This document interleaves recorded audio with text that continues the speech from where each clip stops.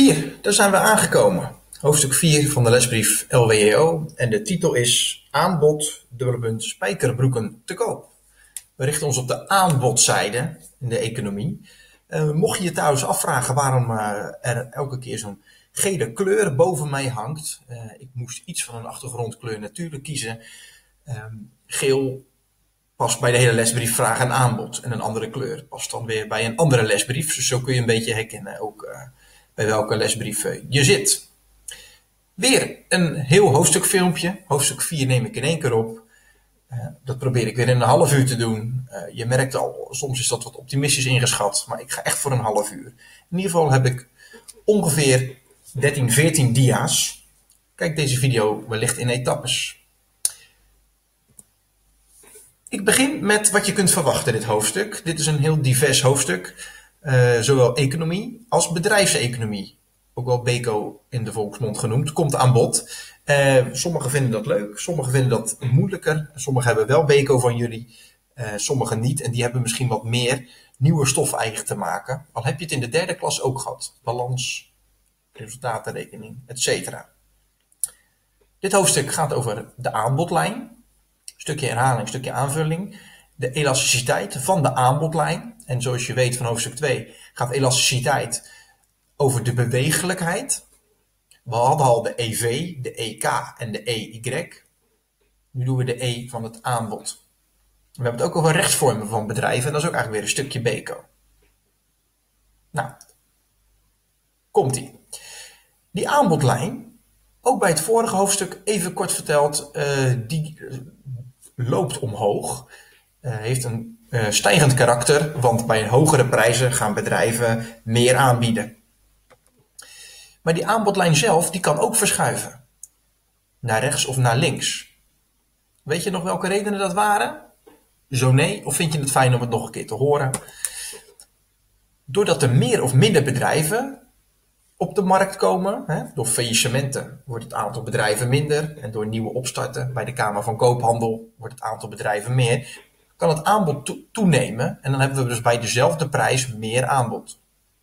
Ook als de kostprijs verandert, die kan bijvoorbeeld hoger of lager worden, dan wordt dat doorberekend en dan kunnen we voor bepaalde prijzen meer of minder aanbod hebben. Dus dan verandert bijvoorbeeld de blauwe aanbodlijn in die rode aanbodlijn of andersom. Nou, we gaan naar een uh, nieuwe formule. En die gaat weer over de elasticiteit. En ik ben benieuwd of je nog een beetje weet hoe dat zat. Weet je nog, hoofdstuk 2, die kwartenpounden. Dan kon je de procentuele verandering van Q delen door de procentuele verandering van de prijs. En dan had je de elasticiteit uitgerekend. Dat was bijvoorbeeld 0, min 0,8 of min 1,5. En dat betekende dan iets. Nou, ongeveer die truc passen we nu weer toe. In ieder geval kijken we bij het aanbod met name naar de bedrijven die jij kent, die iets aan te bieden hebben. Het aanbod komt bij de bedrijven vandaan, um, omdat er vraag is. En zij willen daar geld mee verdienen.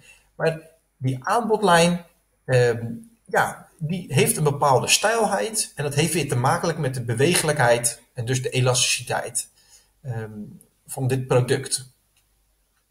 Uiteindelijk gaat het om de onderste vraag die je hier in beeld ziet. Stijgt het aanbod in procenten nu meer of minder dan de vraag, of dan de prijs in procenten. Excuus, prijs in procenten. Dus stel je voor, uh, de prijs gaat 10% omhoog. Dan zullen er aanbieders zijn die misschien met 5% hun aanbod gaan verhogen. Sommige aanbieders gaan misschien veel meer uh, procenten aanbieden. En dat zegt iets over de elasticiteit. Om het iets duidelijker te maken, komt hierboven in beeld elasticiteit van het aanbod in formulevorm. We delen de procentuele hoeveelheidsverandering door de procentuele prijsverandering. Ik stel voor dat je deze formule overschrijft of hem anders in je boek uh, uh, omcirkelt. En weer geldt bij deze elasticiteit dat eigenlijk onder de streep de oorzaak staat, namelijk een prijsverandering, en boven de streep het gevolg. Reken jij een getal uit dat lager is dan 1, dan spreken we over inelastisch aanbod. Dus dat is ook weer iets om te onthouden. En, dus, en hebben we het over een elastisch aanbod, dan is het getal boven de 1. Kan bijvoorbeeld een EA hebben van 1,8, dan hebben we een elastisch aanbod. Nog concreter, Met een actueel voorbeeld van de tijd van corona. Stel, heel de wereld wil opeens wel mondkapjes hebben in het OV op het werk, over waar we komen. En de marktprijs, ik ben nog bescheiden, eh, gaat met 100% omhoog. Over het algemeen willen mensen er 100% meer voor betalen. En jij bezit een fabriek waar mondkapjes worden gemaakt. Stel je voor, je bent ondernemer en jij biedt iets aan, mondkapjes. Op de termijn wil jij natuurlijk veel meer maken en aanbieden. Want bij 100% hogere prijzen heb jij in je hoofd dat je heel veel meer wil aanbieden. Maar lukt dat ook wel? Heb je dat heel snel geregeld? Want de extra productie vraagt om een extra pand, om extra machines, om extra grondstoffen en om extra personeel. En daar heb je tijd voor nodig. Dus in de praktijk zal je op korte termijn helemaal niet zo elastisch zijn met je aanbod, want de capaciteit is beperkt. Dus op korte termijn zal het aanbod van bedrijven vaak inelastisch zijn. Dus stel je voor, jij gaat 25% meer aanbieden, terwijl de prijs met 100% stijgt. Dan deel je dus 25% door 100%, kom je uit op 0,25. Dan heb je inelastisch aanbod. Over drie maanden heb jij wel een nieuw pand, nieuwe machines, nieuw personeel. En kun jij veel meer aanbieden. Bijvoorbeeld 200% meer mondkapjes. Bij nog steeds een prijsstijging van 100%. Dan kom je uit op 200% delen door 100% is een elasticiteit van het aanbod van 2. Dan is het dus elastisch. Heb je hem? Het is een best wel makkelijke formule. In dit boek moet je hem wat vaker toepassen. En ook iets meer rekenwerk doen met nieuw min oud gedeeld door oud keer 100. Maar als je hoofdstuk 2 in de vingers hebt, dan lukt jou dat. Goed. Uh, we gaan verder met genieten bij Eco. En uh, alle docenten weten dat dit hoofdstuk ook veel Beco betreft. En uh, daar gaan we gewoon op een positieve wijze naar kijken. Ook al heb je er misschien nog wat vrees, trauma van overhouden uit de derde klas. Balansmutaties, eigen vermogen, inventaris, crediteuren, debiteuren. Het komt allemaal terug. ik leg het gewoon stap voor stap uit. En zoals jij weet doet oefening kunstbaren. Dus herhaal, oefen. Let op. We hebben het over de balans en de resultatenrekening van eigenlijk elk bedrijf.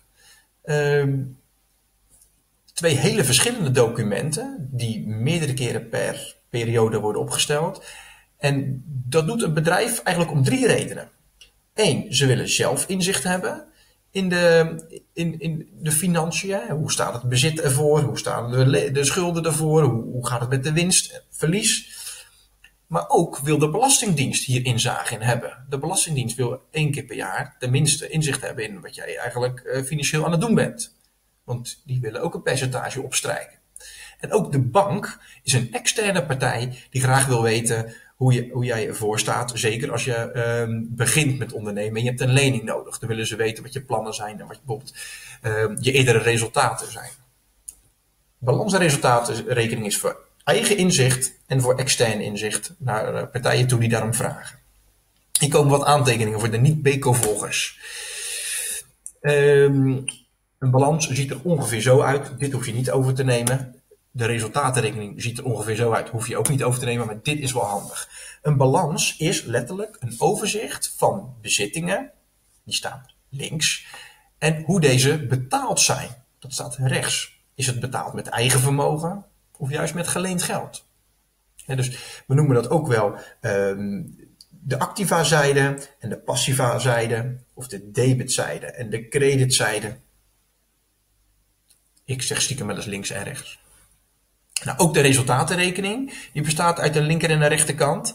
Maar de resultatenrekening, en de aantekening staat nu rechts in beeld, die toont eigenlijk alle opbrengsten en alle kosten. En die vertelt je echt of het goed gaat wat betreft winst of verlies per periode. En het is heel belangrijk om de balans- en resultatenrekening te kunnen duiden dat het echt andere documenten zijn. Balans is bezit en hoe dat betaald is. Vertelt niks over de winst, want dat vertelt de resultatenrekening. Nou, ik zou zeggen, pauzeer deze dia even. Kijk eerst trouwens even hoe deze tabellen eruit zien. En of je nu eigenlijk de definities goed hebt begrepen. Heb je dat gedaan? Dan kun je gewoon lekker meekijken naar de volgende dia's. Want we gaan de balans uitpellen eigenlijk. De activa-zijde, de linkerkant, de debitzijde ook wel genoemd van de balans, wordt verdeeld in zowel vaste activa, vlottende activa als liquide middelen. De vaste activa van een balans, dat zijn eigenlijk alle bezittingen die langer dan een jaar meegaan. Zoals de lopende band, de andere machines, het gebouw zelf, de pc's, de auto's, de vrachtwagens, etc. Langer dan een jaar mee. Vlottende activa, je voelt hem al aankomen, dat zijn alle bezittingen die je korter dan een jaar hebt en binnen een jaar eigenlijk uh, weer ziet weggaan. Dat zijn bijvoorbeeld de voorraden die je eerder hebt ingekocht. En ook het gekke woordje debiteur. Debiteuren zijn de klanten aan wie jij al wel product hebt geleverd, maar die klanten moeten jou nog gaan betalen. Stel je voor, jij koopt op bol.com een gave zonnebril en je maakt gebruik van achteraf betalen. Dan heb jij morgen je zonnebril via bol.com en als je ze over een week betaalt, ben je dus een week lang een debiteur voor bol.com. Je mag het bij verkoop, op het moment van verkoop, al wel als bezit rekenen. Dus dat doet bol.com dan ook onder het kopje debiteuren. Iets is weggevallen met debiteuren zijn de klanten die nog moeten gaan betalen. Goed, liquide middelen, dat is het geld in de kassa en op de bankrekening. We leven in een wereld dat steeds meer digitaal betaald wordt. Dus de liquide middelen, het deel bankrekening wordt wat groter. Maar bedrijven hebben ook nog vaak geld in een laadje of in de kassa. Uh, en dat noemen we dus de liquide middelen. En dit is allemaal bezittingen. En belangrijk om te weten bij een balans is dat de balans een momentopname is. Die ziet er dus elke dag anders uit. Nou, alle soorten activa moet je kunnen indelen en kunnen benoemen. En verderop gaan we ook mutaties doen. Dan gaat er bijvoorbeeld bij een kopje wat af. Dan gaat er bij een ander kopje ook wat af of erbij. Eerst gaan we eens even oefenen met die balans. Want hier zie je een bedrijfsauto, voorraden en uh, een kassa. Nou, eh, niet al te moeilijk. Vaste activa gaat langer dan een jaar mee. Dat kun je je voorstellen bij die bus. De voorraden gaan korter dan een jaar mee. Want die worden hopelijk verkocht. Vlottende activa. En tot slot liquide middelen. Want dat is in dit geval het kasgeld. Dat er volgens mij wel in. Dezelfde camera die de fotograaf heeft en bij Mediamarkt te koop staat, kan trouwens in Stinker zowel vast als vlottende activa zijn. Want Mediamarkt verkoopt de camera binnen een jaar, voor hun is het handel. En de fotograaf gebruikt de vaste activa als uh, nou ja, eh, manier om zijn geld te verdienen. Dus dat is vaste activa. Dus sommige producten moet je even kijken naar het uh, gebruik. Korter dan een jaar of langer dan een jaar. Goed, Mocht je nog enthousiast zijn, dan gaan we nu door naar de rechterzijde, de passiva zijde, ook wel de creditzijde genoemd. En die bestaat op de balans uit een deel eigen vermogen en een deel vreemd vermogen. Nou, het eigen vermogen is het zelf ingebrachte geld, zoals spaargeld, winst van vorig jaar en het jaar daarvoor. En ook aandeelhouders horen bij het eigen vermogen. Onthoud dat goed. Aandeelhouders horen bij het eigen vermogen.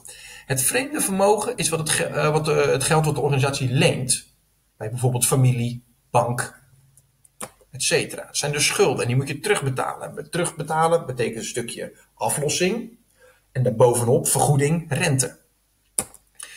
We hebben kortlopende schulden, die lopen korter dan een jaar. Dan heb je het over crediteuren. Crediteuren zijn de rekeningen die het bedrijf nog moet gaan betalen. Bijvoorbeeld nog 600 euro aan, aan KPN of 50 euro aan KPN of leverancier Tom krijgt nog 2000 euro. Hij heeft jou gewoon even de tijd gegeven om te betalen, maar ondertussen heb je dus wel een schuld opgebouwd. Langlopende schulden heb je ook op de passiva zijde van de balans. Dat zijn bijvoorbeeld de hypotheek op het pand. Hè. Bijvoorbeeld je hebt 350.000 eh, euro geleend om een mooi winkelpand te kopen. Moet je langzaam terugbetalen, aflossing, bovenop rente. Maar puur de schuld noteren we bij de langlopende schulden. Nou, dit is de financiering op moment X. Die moet je ook weer kunnen berekenen. Nou, dan gaan we, en ik ben ongeveer op de helft denk ik van deze presentatie, misschien al op twee derde. Dan gaan we naar het document de resultatenrekening. Dat is eigenlijk al wat leuke document hoor. Want eh, los van dat hij een linker en een rechterkant heeft, vertelt hij of je winst maakt. En dat is natuurlijk het echte doel. Je doet het allemaal om een dikke boterham eraan over te houden. Naast dat het hopelijk leuk is om, een bedrijf te hebben. Het kenmerk van een resultaatrekening is dat het niet uh, te meten is op een moment, maar het gaat over een hele periode. Daar kom ik zo meteen op terug. Bijvoorbeeld over heel 2015 of heel 2020. Nou, links staan de kosten op de resultatenrekening. Rechts, creditzijde, staan de opbrengsten. Bijzondere aandacht moet je hebben voor de afschrijvingen. Dat is ook een bedrijfseconomische term. Afschrijvingen betekent kosten die je berekent voor de waardevermindering van de vaste activa. Zoals auto's die dalen in waarde, machines en pc's dalen in waarde. Dus stel je voor, uh, ja, PV koopt een bedrijfsauto op, op de allereerste dag voor 25.000 euro en hij denkt dat die auto vijf jaar meegaat. Daarna is die auto niks meer waard. Dan mag je jaarlijks 5.000 euro aan kosten op de resultatenrekening in rekening brengen. Zoals 5000 euro per jaar. De formule voor de afschrijvingen is, hier komt die, nieuwwaarde min restwaarde delen door het aantal gebruiksjaren. Nieuwwaarde min restwaarde, in dit geval 0, delen door het aantal gebruiksjaren. Uh, ging dit snel voor je spoel mijn filmpje dan even terug. Maar afschrijvingskosten, die doe je dus niet echt meer ieder jaar. Je hebt in het begin al die auto gekocht, maar je mag ze wel jaarlijks in mindering brengen op de uh, resultatenrekening de afschrijvingskosten zorgen ook dat je vaste activa ieder jaar minder waard wordt op de balans. Goed.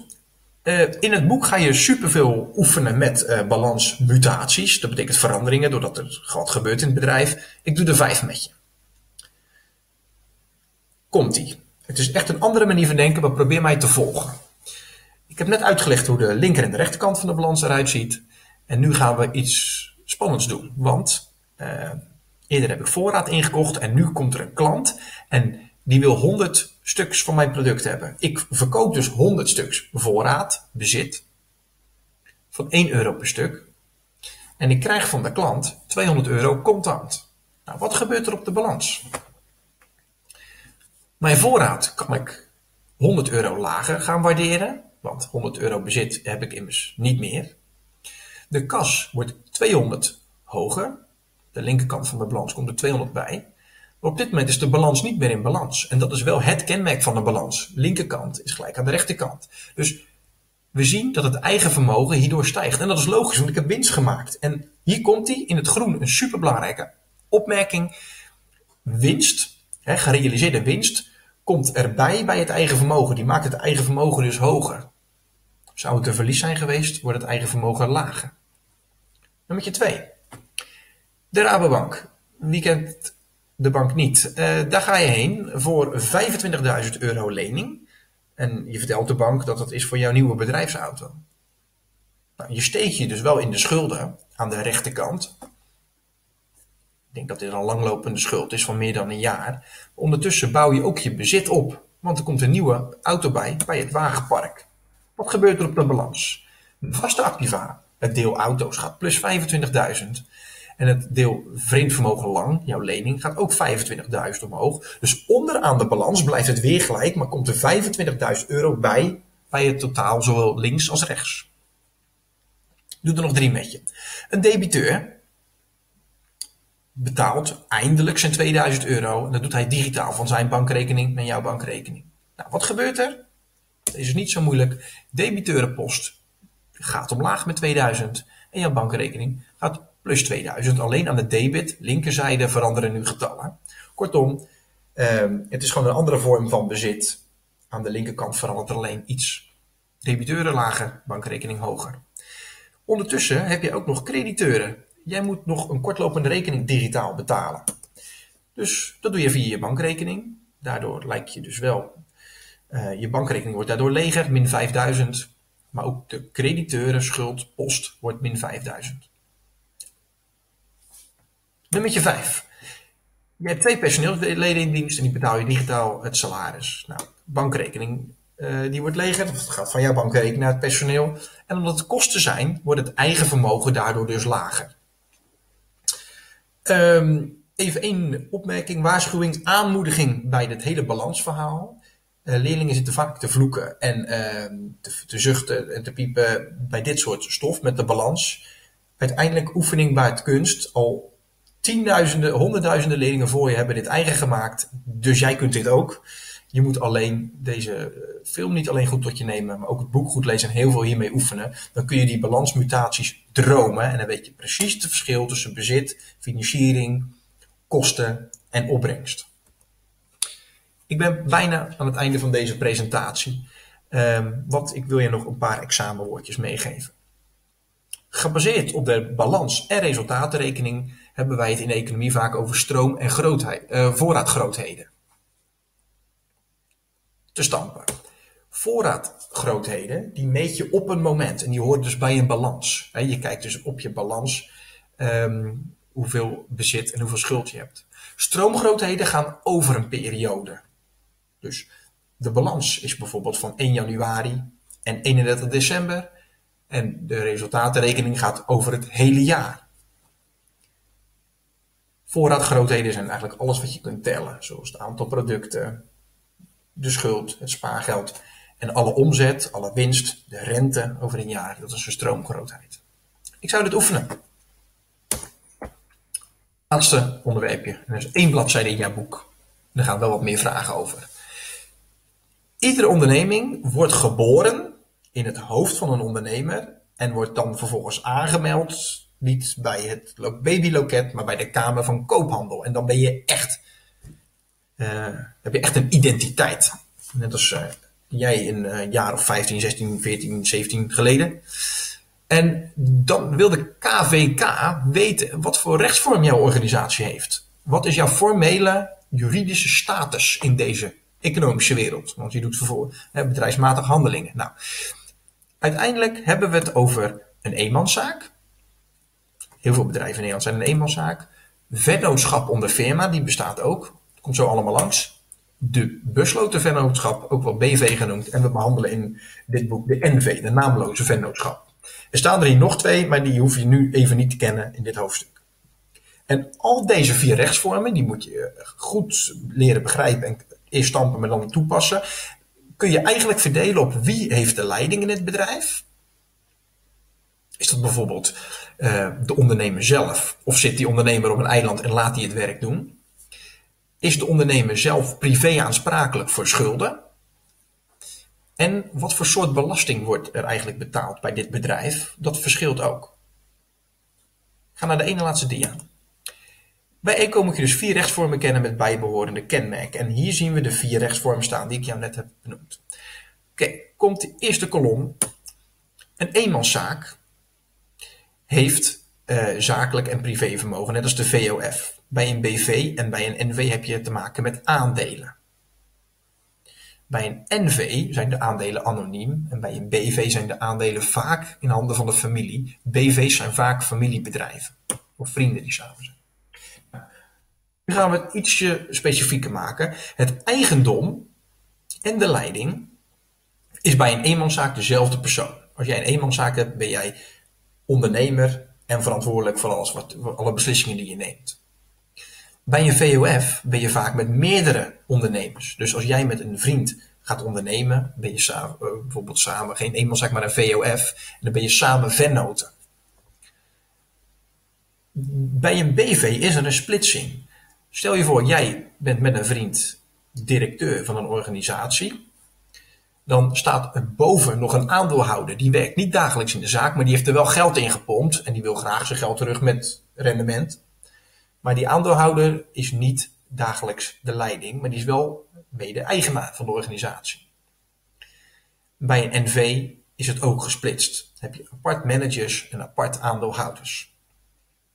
Nou, bij een eenmanszaak kun je maar beperkt vermogen aantrekken. Want als jij in je eentje gaat ondernemen, je kunt onder een tram komen, of je, je kunt ziek worden, of je kunt, je kunt, het zat zijn om te ondernemen, dan zal de bank jou niet heel snel eh, een miljoen lenen. Een VOF, daar is al iets minder beperkt om geld te lenen, want dan heeft de bank, hey, uh, we kunnen eventueel bij meerdere mensen terecht. dus uiteindelijk kun je daar iets meer lenen, ook omdat je basis van twee personen in de zaak staat. En je bent privé eh, verantwoordelijk voor je schulden. Bij de BV kun je ook al wat meer lenen. En bij een NV al heel erg veel. Vermogen aantrekken doet een NV via aandeelhouders.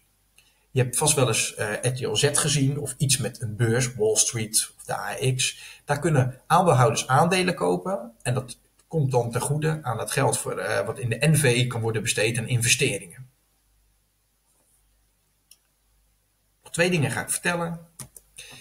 Bij een eenmanszaak in de VOF zijn eigenlijk de mensen gewoon uh, in een soort van loondienst bij een eigen bedrijf. Betalen ze dus net als bij uh, alle andere mensen in loondienst uh, in box 1 belasting via alle progressieve schijven. Die heb je als het goed is gehad bij de lesbrief levensloop. dat, je, dat mensen over een steeds hoger bedrag dat ze verdienen, steeds meer percentage belasting gaan betalen, relatief gezien. En dan betalen ze dus gewoon inkomensheffing. Dat doe je ook bij de eenmanszaak in de VOF. Maar bij de BV en de NV wordt de vennootschapsbelasting betaald. En dat is een verschillend percentage. Nou, het allerbelangrijkste, en ik hoop dat je aandacht nog heb, is dat je bij nummertje 1 en 2, dus eenmanszaak en VOF, dat de mensen in de zaak privé verantwoordelijk zijn voor schulden. Een miljoen verlies en failliet, faillissement, dan kan in principe de bank zeggen, ik ga, jou, ja, ga je huis verkopen en je moet uh, maar in een caravan gaan wonen. Dus daar kunnen drama's mee ontstaan. Bij een BV en een NV kan dat niet zo zijn. Dan ben je juridisch niet aansprakelijk. Je bent geen rechtspersoon, dus voor je privévermogen. Nou, waarom zijn er dan toch mensen die een eenmanszaak of een VOF kiezen in plaats van een BV of NV? BV en NV, daar kun je wel meer geld mee aantrekken. Plus de uh, startkosten zijn wel hoger bij een BV en een NV. Bij een NV heb je helemaal geloof ik 50.000 euro om te beginnen of 100.000 euro. Uh, en bij een eenmanszaak kan je in principe uh, overmorgen al beginnen. Als je een paar duizend euro hebt en je wil bijvoorbeeld een bloemenkraam in jouw dorp beginnen. Dus er zijn redenen. Probeer het een beetje te zoeken in deze tabel. waarom mensen kiezen voor een eenmanszaak of een VOF in plaats van een BV. Succes met stampen en toepassen. Dit was het laatste stukje Beko. was ook het laatste stukje van deze presentatie. Hopelijk was het informatief. We hebben het gehad over aanbodlijnen. Die stijgen. De aanbodlijn kan verschuiven door omstandigheden. Er komen meer of minder bedrijven bij. Of de kostprijs wordt hoger of lager. We hebben het gehad over de elasticiteit van de aanbodlijn. Als de prijs omhoog gaat, kan sommige bedrijven een beetje meer aanbieden. Sommige bedrijven gaan veel meer aanbieden. Als je die percentages met elkaar vergelijkt, kun je de elasticiteit achterhalen. Vervolgens heb ik een switch gemaakt naar BECO. We hebben de balans behandeld, de resultatenrekening. Die moet je niet alleen maar kennen, maar ook kunnen toepassen. En tot slot hebben we het over rechtsvormen. Er zijn vier rechtsvormen bij economie. Die moet je kennen qua kenmerken en ook weer kunnen toepassen. En ook kunnen benoemen waarom dat iemand nou gaat voor dit soort bedrijf of een ander bedrijf. Dit was mijn uitleg. Ik zou zeggen, uh, maak hoofdstuk 4 af. En uh, kijk het vervolgens na, maak ook de transferopgave. Bedankt voor het kijken en vast tot een volgend filmpje. Succes!